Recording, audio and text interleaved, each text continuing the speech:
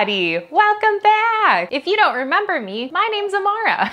if you're subscribed to my channel, welcome back. If you're not yet, make sure you subscribe and then we can be friends. I mean, we could be friends regardless, but I am so excited to be recording another Etsy video. It has been quite a long time. Can I swear yet? I think YouTube has like a 10 second thing where I can't swear yet. I'm waiting to get my swears and my Fs in and everything. Anywho, lately I've been getting a lot of different questions from people on all my various different social media platforms and even in the comments below. So if you have a question, leave it in the comments. I've been getting many questions about how to start an Etsy shop. In this video, I'm gonna share the five absolute must-have things you need to start your Etsy sticker shop. These have made me honestly thousands and thousands of dollars. Hopefully they can help you at least make some money, if not a billion gajillion dollars. in another video, I'm also gonna talk about all the income revenue streams and stuff like that that I've made through Etsy, but you know, subscribe and stay tuned and it'll come out eventually. Oh, also everything I talk about in this video is gonna be linked in the description below because of course I'm gonna go off the rails, so everything is just gonna be linked below. Without further ado, let's just go take a look at the stuff.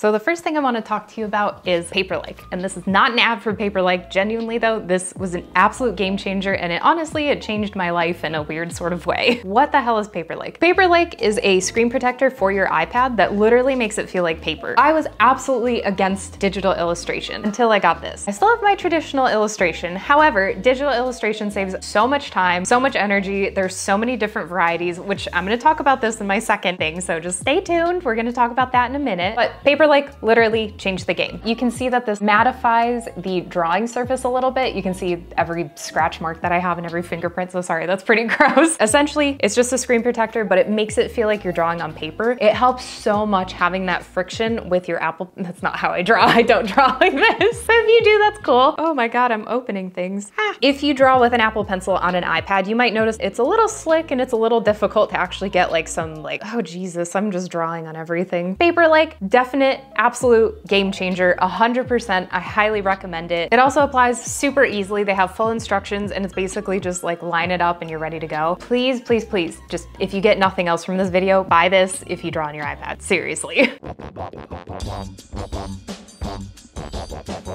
That brings me to my next part, which is Procreate. Procreate, if you're not familiar with it, you've probably heard of it by now, but it's literally an app where you can do digital illustration. You can have different brushes, you can have different canvases, you can have different sizes, you can import photos if you wanna draw on the photos, which I had a lot of fun with one time. But Procreate, honestly, it was such a game changer. It was literally the best $10 I've ever spent. Hands down, I would have spent $100 on it. I would have spent 200. Like it has provided so much value for me and helped me make thousands and thousands of dollars. Like all of these things have helped me make so much money and it's just insane. It's so easy. Literally just select this with the paper like it feels like you're drawing on paper. Well, I have it on graphite pencil, so you probably cannot see that. But look at that. Look at how cool this is. Like we're in the future. Whoa. Smiley face. So you can do that. You can erase, you can smudge, you can change the hue and saturation. Like there are literally, you can have layers too, which is so helpful. You can have a clipping mask, which is really helpful. There's a really great account called Art with Flo that has a lot of great illustration tutorials, so check her out if you're curious about anything. I'll link her also in the description below. I'm running out of breath.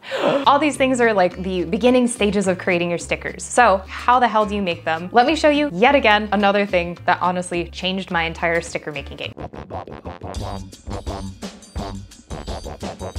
Okay, so then the absolute third thing, I guess this really isn't in numerical order, but it kind of is, I don't know. Anyway, the number third thing that you absolutely need to start your Etsy sticker shop is a Cricut. When I started making stickers, I was hand cutting every single sticker. You can check out my channel. I literally have an entire video on how I was doing it just to save money because Cricuts can be a little expensive, especially if you don't know if you wanna actually start it as something. As soon as I was making more money from my Etsy sticker shop, then I was like, I'm gonna reinvest the profits that I made into this Cricut and it has been absolutely amazing. I was limiting my own creativity by not actually putting the money into something like this. It's just been hugely amazing to be able to have that type of level of creativity and everything without just being like, oh, I can only make square ones. Oh, I can only make rectangular ones or triangle ones. My eye is watering right now for some reason and I don't know why. Oh, TLDR, Cricut is absolutely amazing. You can have like a bunch of little different knives and doodads and stuff that come with it. I'm sure you know what the Cricut is by now, but you can start off hand cutting, of course, which is absolutely phenomenal, but genuinely, you want to invest in a Cricut if you see this as like a long-term term thing. So that brings me to number four, which is kind of part of number three, but we're just gonna call it number four.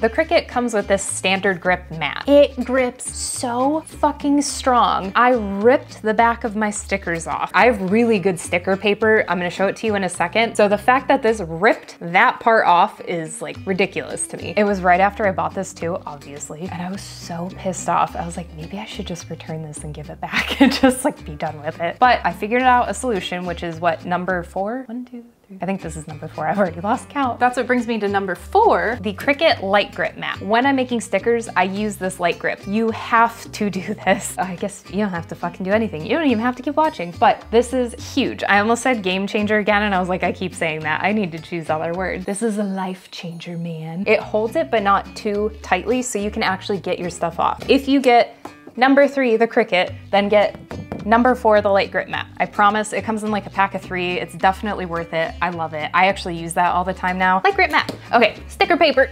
Oh, oh God.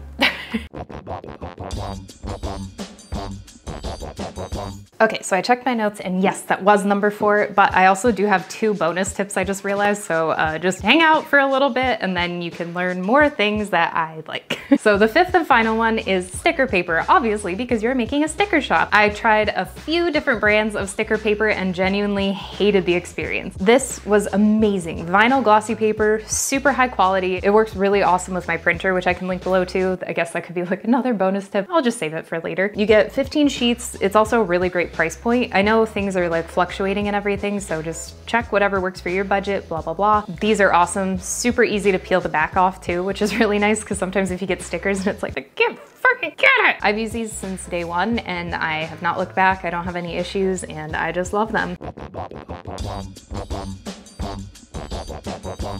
So I teased bonus tips. I have two, unintentionally, because I can't count. So this was also supposed to be in the main part of the video, however, this is gonna be a bonus tip now. This was yet another game changer. I'm literally giving you all my fucking game changers. I'm so sorry. That's gonna be the title of this video, game changers. So originally when I started making stickers, I was also using a spray-on like sealant. It was like something to like keep all the ink in so it could be waterproof and stuff like that. Essentially it was to waterproof it and make it really durable and strong. Such a pain in the ass. That was absolutely terrible. But then my boyfriend Jeff was like, hey, when I was a kid, my mom mom used to save like newspaper clippings or whatever the, I don't even remember, but his mom would do laminating sheets for him to like preserve it. And I was like, huh, that's interesting. It has proved very lovely for stickers. So like these two products together work really well. Bonus tip within my bonus tip. If you choose to use these, let your paper dry at least 10 to 15 minutes after printing before you put this on. Why? Well, if you have fine lines or fine detail, which you probably should steer away from anyway, because that is a nightmare to try to keep like nice from getting all muddy and everything. If you try to put this on too early, it'll muddy your colors a little bit. Do not do that. Just wait 10 to 15 minutes, set a timer, listen to a podcast, hang out, put your feet up, eat a burrito, whatever you wanna do before you put this on. So you can see that's what it looks like, just really nice and clear, high quality, and it's all nice and glossy, which works really well with this. If you do matte sticker paper, do not do these. It will stick to it immediately and you cannot get it off. So I just cut these to the size of the design because if you have a Cricut or if you bought the Cricut, it'll change how big you can make your design, which I'll have a full video, like I said, about that.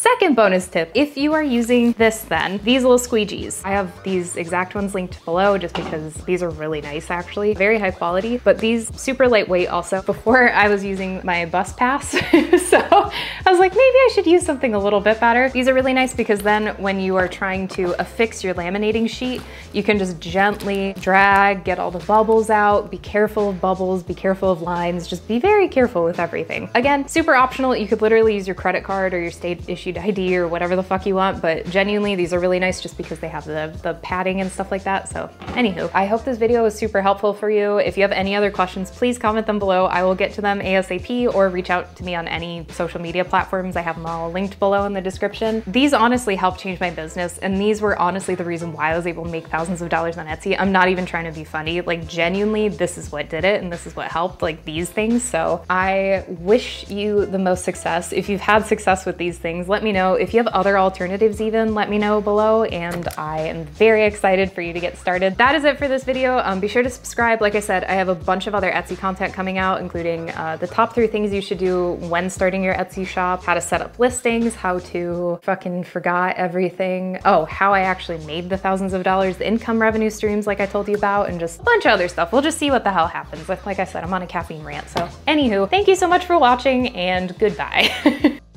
oh my God, they're probably like, can you shut the fuck up? Okay, time to eat a burrito.